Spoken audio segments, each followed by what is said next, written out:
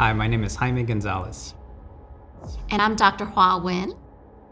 And we are the founders of Blacksteel Investment Group. And we help people just like you achieve financial freedom so you